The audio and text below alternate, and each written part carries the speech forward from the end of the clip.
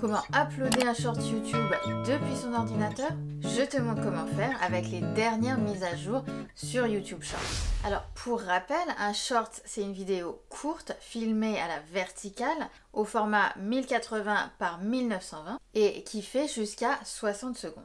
Alors un short, ça peut être créé de plusieurs façons. Donc soit on utilise son téléphone et on va créer son short en appuyant sur le petit plus, soit on filme son short avec son téléphone à la verticale ou avec sa caméra, soit on va créer son short à partir d'un extrait d'une vidéo plus longue, et j'en ai parlé dans une vidéo précédente et plus précisément celle-là, soit ça peut être un short créé à partir de remix d'autres créateurs vidéo, alors, une fois que tu as créé et uploadé ton short sur ton ordinateur, tu vas pouvoir mettre en ligne ton short sur YouTube.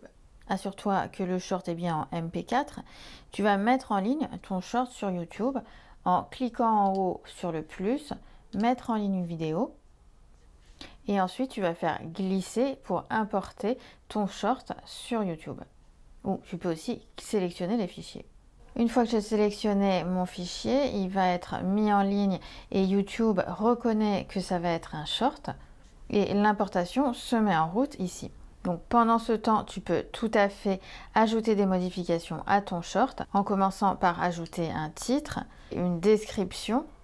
Et là, si tu cherches à ajouter une miniature pour ton short, YouTube t'indique que ce n'est pas possible de modifier la miniature sur ton short pour le moment. Alors la bonne nouvelle, c'est qu'on peut depuis peu choisir sa miniature sur les shorts, alors que jusque-là, YouTube choisissait au hasard une image extraite de notre short pour la mettre en miniature. Mais malheureusement, ce n'est pas encore possible de le faire à partir de ton ordinateur.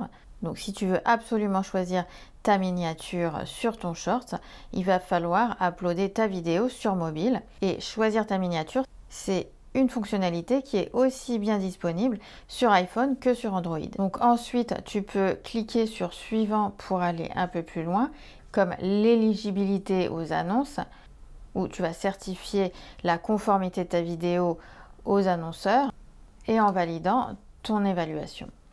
Tu peux aller sur éléments vidéo, sur vérification donc là, c'est YouTube qui va vérifier une fois que l'importation sera terminée. Une fois que YouTube a terminé ses vérifications, il va te signaler qu'aucun problème n'a été détecté et tu peux enregistrer. Ensuite, tu n'auras plus qu'à choisir la visibilité de ta vidéo.